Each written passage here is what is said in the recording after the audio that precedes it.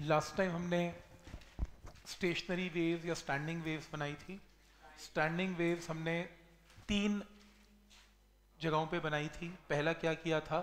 A string tied at both the ends दूसरा pipe closed at one end open at other end और तीसरा pipe open at both end जब paper में आता है consider an open organ pipe तो open at one end की both end both end अगर कहते हैं कि क्लोज्ड ऑर्गन पाइप तो क्लोज्ड एट वन एंड तो प्लीज़ ध्यान से ओपन ऑर्गन पाइप लिखना लिख लो इसके ऊपर.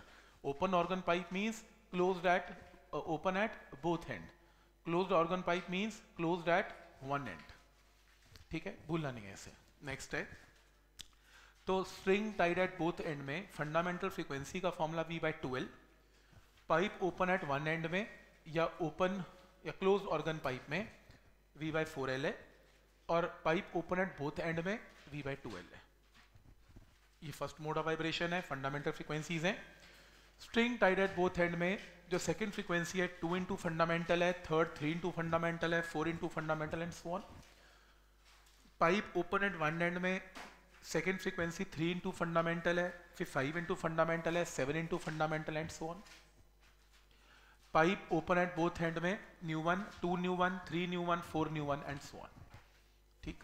इसमें ये ओवरटोन्स हैं। ओवरटोन्स की काउंटिंग बताया था, एक कम चलती है तो ओवरटोन यहाँ से स्टार्ट होते हैं। तो अगर N is equal to two तो फ़र्स्ट ओवरटोन है थ्री में सेकेंड ओवरटोन है फोर में थर्ड ओवरटोन है एंड सो ऑन हारमोनिक बताया था।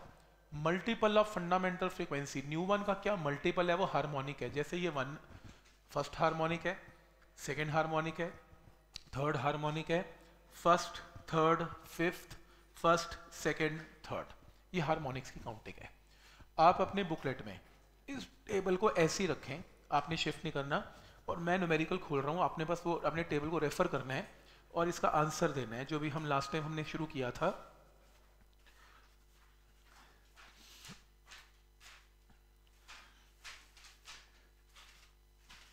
ये लो। हमने ये दो नोमेरिकल तीन न्यूमेरिकल कर लिए थे, हमने यहाँ से शुरू करना है। टेबल को ओपन करके रखना प्लीज़ आपको ये शीट नहीं खोलनी टेबल देखें सिर्फ़। Cylindrical tube open at both hand तो प्लीज़ अपने टेबल में रेफर करें ओपन एट बोथ हैंड में। Produces fundamental node of frequency 256 तो फ्रीक्वेंसी कितनी है? 250 फंडामेंटल है। तो pipe open at both hand में फंडामेंटल का फॉर्मूला बोले क्या है? V बाय टू जिसकी वैल्यू कितनी है? 256 ठीक हो गया? नेक्स्ट है। Tube is dipped vertically in water, tube को पानी में डुबो दिया। तो अब pipe close at one end, open at, other end हो गई, क्योंकि पानी ने बंद कर दिया उसको। So that half of it is emerge in water आधी पानी में चली गई। तो अब अगर इसकी लेंथ एल थी, अब क्या हो गया? L by two L by two अब ऊपर वाली जो पाइप है, वो ओपन एट वन एंड है क्लोज एट अदर एंड है, उसकी लेंथ क्या है? एल बाई टू तो वो कह रहा है कि अब इसमें फ़र्स्ट रेजोनेंस की फ्रीक्वेंसी क्या होगी? जो हम फ्रीक्वेंसीज निकालते हैं। Nu one nu two nu three ये सब रेजोनेंस फ्रीक्वेंसीज हैं। क्योंकि हर वक्त स्टैंडिंग वेव तो बनती नहीं। और जब बनती हैं, उसको रेजोनेंस फ्रीक्वेंसी बोलते हैं। तो पहली रेजोनेंस फ्रीक्वेंसी कौन सी होती है? फंडामेंटल दूसरी रेजोनेंस फ्रीक्वेंसी क्या होती है? सेकेंड मोड ऑफ़ वाइब्रेशन तीसरी क्या होती है? न्यू थ्री नेक्स्ट क्या होती है? न्यू फोर ये सब रेजोनेंस है। उसने बोला, पहली रेजोनेंस फ्रीक्वेंसी यानी कि you have to calculate fundamental frequency fundamental का formula, pipe open at other, one end, close at other end में क्या होता है? वी बाई फोर एल पर प्रॉब्लम यह है कि यहाँ पर लेंथ भी आधी हो गई। तो एल की जगह क्या कर दिया? एल बाई टू वैसे तो ओरली आंसर आ गया कि फोर से टू कट गया तो वी बाई टू और वी बाई टू की वैल्यू कितनी है? टू फिफ्टी तो आंसर टू फिफ्टी सिक्स है। फिर भी यहाँ से वी बाई एल निकाल लिया। इस वी बाई एल में पुट करेंगे तो आंसर क्या आएगा? Two hundred fifty six is answer तो पॉइंट समझ में आ रहे हैं यहाँ तक कि कैसे क्वेश्चन करना है? कोई डाउट इसमें नेक्स्ट है. String in a musical instrument is 50 centimetre long तो एक स्ट्रिंग है. तो यानी कि केस कौन सा है? String tied at both end string tied at both end का एक्सपेरिमेंट लैब में करवाया जाता है स्कूल में. वो अलग बात है कि हमने नहीं किया. उस एक्सपेरिमेंट का नाम है सोनोमीटर तो अगर वर्ड सोनोमीटर आ जाए वैसे मैं कराऊँगा अभी कॉम्पिटिशन में. सोनोमीटर का मतलब string tied at both end के एक्सपेरिमेंट को बोलते हैं. उस मशीन को सोनोमीटर बोलते हैं. हम गिटार लेके थोड़ा ना एक्सपेरिमेंट करते हैं मशीन लगाई जाती है। और वो मशीन होती कैसी है? वो मशीन ऐसी होती है, एक वुडन बॉक्स होता है, उस वुडन बॉक्स के ऊपर ये दो हुक्स लगे होते हैं। इस हुक में एक वायर को बाँध दिया जाता है ऐसे। और यहाँ पर लगाई जाती है पुली पुली ये वायर इस पुली से होती हुई इस मास तक जाती है। रेस्ट पे है मास चेंज हो सकता है ताकि यहाँ की टेंशन चेंज हो सके। ये रेस्ट पे है तो टेंशन की वैल्यू यहाँ पर पता है क्या रहती है? एमजी तो ये रेस्ट पे है, हम ट्यूनिंग फोक लेके आते हैं ट्यूनिंग फोक उसको वाइब्रेट करवाते हैं, उसको इसके पास लेके आते हैं। कई बार इलेक्ट्रॉनिक ट्यूनिंग फोक्स भी होते हैं। ये क्या करता है ट्यूनिंग फोक हवा के अंदर मॉलिक्यूल को ज़बरदस्त वाइब्रेशन जनरेट करता है। वो हवा के मॉलिक्यूल इतनी ज़ोर के हिलते हैं कि वो वायर को भी हिला देते हैं। वायर में प्रोग्रेसिव वेव जाती है प्रोड्यूस हो जाती है टक्कर खा के वापस आती है और यहाँ पर लूप्स जनरेट होने स्टार्ट हो जाते हैं ऐसे। ये वाइब्रेट करती है ऐसे दो हुक्स के बीच में। अब तुमने जितनी ज़ोर की हिलाया ट्यूनिंग फोक उतनी तेज वेव गई नंबर ऑफ़ लूप बढ़ जा, बढ़ जाते हैं। तो कम से कम जब स्टेशनरी वेव बनती है तो इसमें नंबर ऑफ़ लूप एक तो होता ही होता है।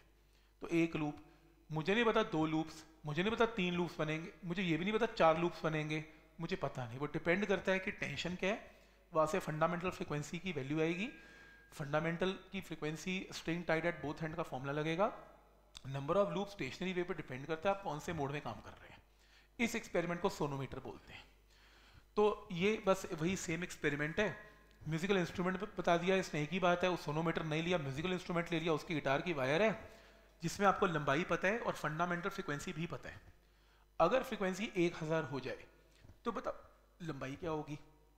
अब जो स्ट्रिंग होती है ना, उसमें उसने टेंशन को चेंज नहीं किया। टेंशन सेम है, उसने बोला ही नहीं टेंशन चेंज करो।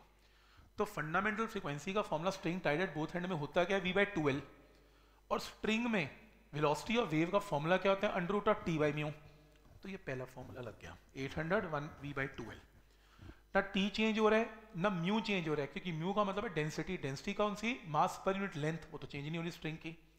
क्या चीज़ चेंज हो रही है? लंबाई। तो एल लंबाई में फ्रीक्वेंसी 800 है एल डैश में 1000 है, दोनों को डिवाइड कर ले आंसर आ जाएगा आंसर आ गया। तो कौन सा फॉर्मूला लगेगा, समझ में आ रहा है यहाँ तक? ठीक, जैसे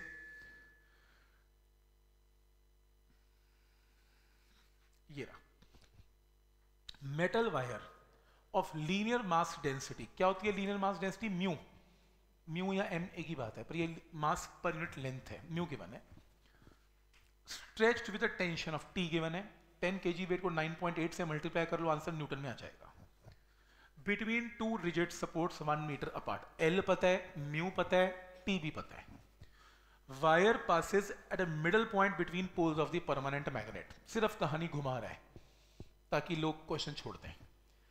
पहली लाइन तो समझ में आ गई टेंशन ट्यूशन की बात कर रहा है। Fundamental frequency can be calculated कह रहे ये वायर ना मिडल पॉइंट से पास हो रही है परमानेंट मैग्नेट के and it vibrates in resonance यानी कि कुछ ना कुछ स्टेशनरी वेव तो इसमें जनरेट हुई हुई है, तभी तो रेजोनेंस की बात कर रहा है। When carrying an alternating current of frequency nu कह रहे जी ऑल्टरनेटिंग करंट भी आगे बीच में। हमें क्या पता ऑल्टरनेटिंग करंट से क्या होता है, मुझे कुछ नहीं पता। कह रहा है कि बताओ ऑल्टरनेटिंग करंट सोर्स की फ्रिक्वेंसी क्या है? कॉम्प्लिकेटेड हो गया एंड में स्टोरी देखो रेजोनेंस का मतलब क्या है? कुछ स्पेशल फ्रीक्वेंसीज को रेजोनेंस फ्रीक्वेंसीज बोलते हैं। तो जैसे हमारी हर वक्त स्टैंडिंग वेव तो बनती नहीं। हमने एनिमेशन में लास्ट टाइम देखा भी था। वो कुछ फिक्स्ड फ्रिक्वेंसी पे ही बनती हैं। जब एक लूप है, या दो लूप्स हैं, या तीन लूप्स हैं, साढ़े तीन लूप में तो स्ट्रिंग टाइडेड बोथ हैंड काम ही नहीं करता। तो उसमें तो फंडामेंटल होती नहीं, उसको रेजोनेंस बोलते हैं। रेजोनेंस वर्ड एक जगह और भी यूज़ होता है। जैसे रेजोनेंस नॉर्मली वर्ड कैसे यूज़ करते हैं? मैंने और मेरे और इसके विचार एक जैसे हैं। बिल्कुल टिट्टो एक जैसे शाम को सोचा क्लास मिस करके ना हम ना पार्टी पे जाएँगे कहीं। और देखो, मेरे विचार भी यही कह रहे हैं, इसके विचार भी कह रहे हैं। जो आम जनता है, वो तो क्या बातें कर रही है? यार, एक जैसे हैं, यार, एक जैसा सोचते हैं। रेजोनेंस में रहती हैं इनकी बातें। रेजोनेंस में विचार बिल्कुल सेम है। रेजोनेंस वर्ड यूज़ करते हैं।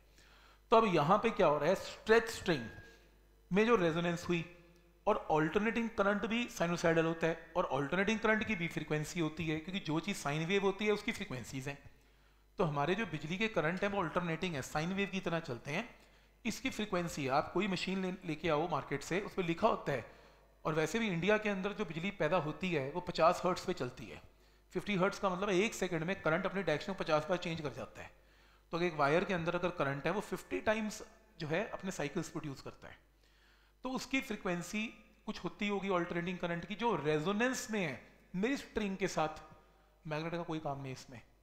बस सिंपल बात है, वो ये कहना चाह रहा है स्ट्रिंग में जो रेजोनेंस फ्रीक्वेंसी है, वो ऑल्टरनेटिंग करंट की फ्रीक्वेंसी के साथ मैच करती है।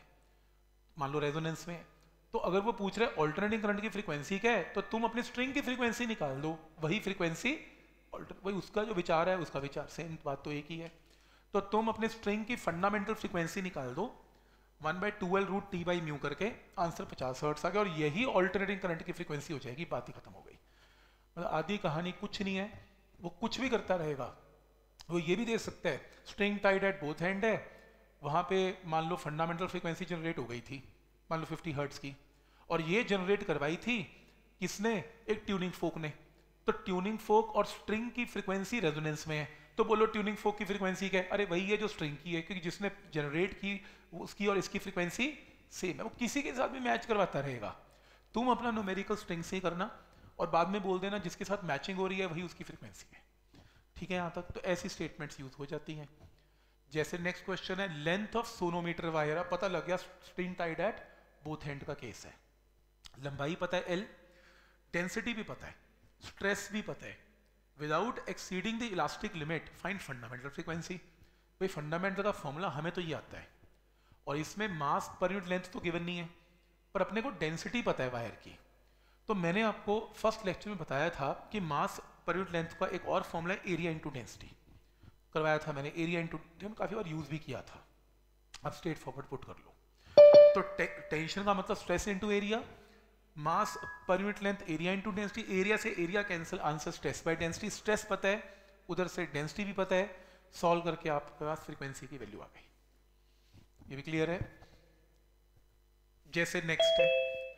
Stretched wire emits a fundamental note of दो सौ छप्पन टू फिफ्टी सिक्स मतलब एक खिंची हुई वायर है, उसमें फंडामेंटल 256 है। कीपिंग स्ट्रेचिंग फोर्स कांस्टेंट यानी कि टेंशन सेम है। And reducing length of the wire by 10 तो अगर पहले लेंथ एल है, अब लेंथ एल माइनस दस है। तो फ्रीक्वेंसी बिकम 320 आपको पता है लेंथ क्या है?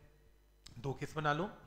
पहला केस फ्रीक्वेंसी ये फॉर्मूला फ़र्स्ट केस में फ्रीक्वेंसी 256 जब लंबाई एल है।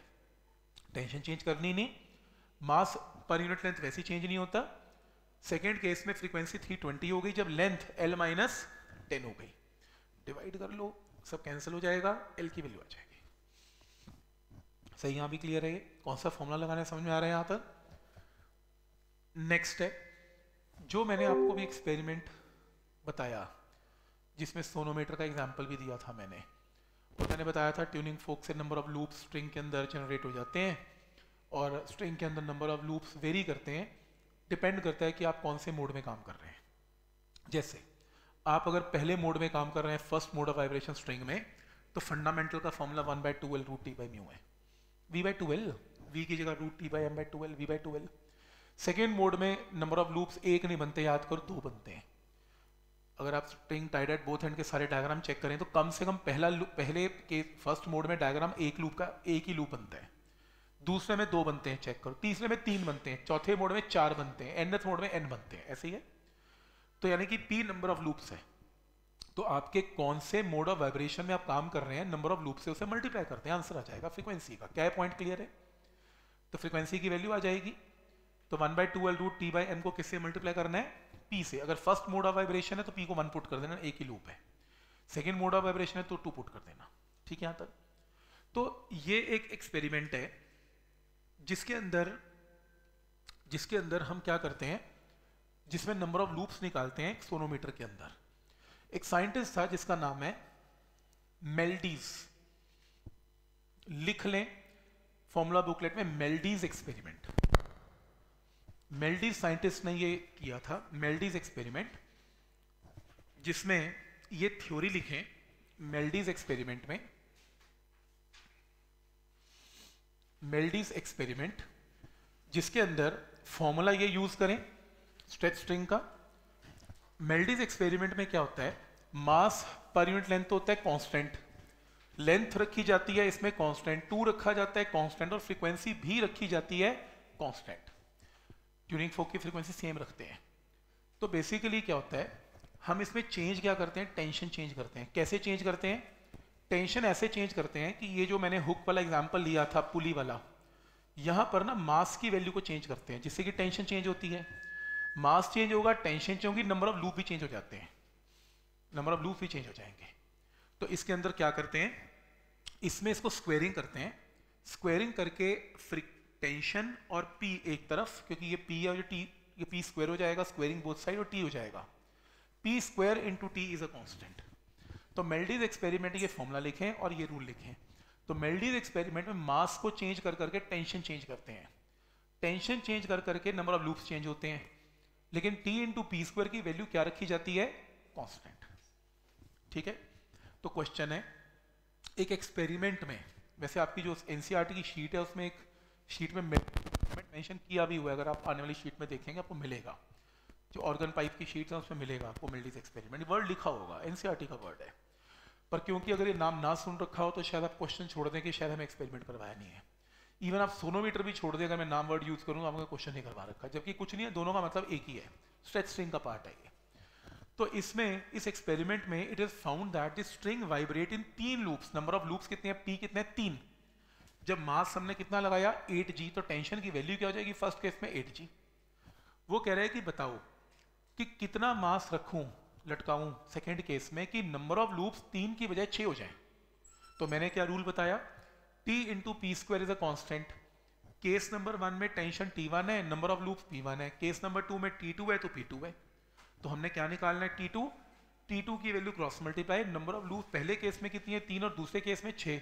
और ये एट जी है। एट जी है तो ये ऑब्वियसली टू जी आ जाएगा। आंसर आ गया। दो ग्राम आंसर है। मेथड समझ में आ रहा है कि कैसे इस क्वेश्चन को करना है? कोई डाउट इसमें? क्लियर है? यहाँ तक? तो ये टर्म आएगी राइट फॉर्मूला बिल्कुल में नोट कर सकते हो कि अगर आपकी फ्रीक्वेंसी किसी भी साउंड की फंडामेंटल फ्रीक्वेंसी नाइन एट्थ है तो उसको बोला जाता है मेजर टोन है। मेजर टोन का मतलब frequency become nine eighth of fundamental frequency तो यानी कि मेजर टोन है। अगर आपकी जो करंट फ्रीक्वेंसी साउंड की, किसी भी म्यूजिकल इंस्ट्रूमेंट की नाइन एट्थ ऑफ़ फंडामेंटल है तो इसका मतलब वो मेजर टोन है।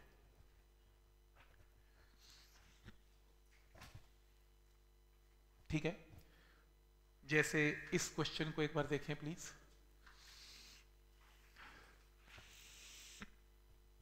नहीं, रुको, इसको देख, रुके रुके रुके। ये हमने कर लिया। हाँ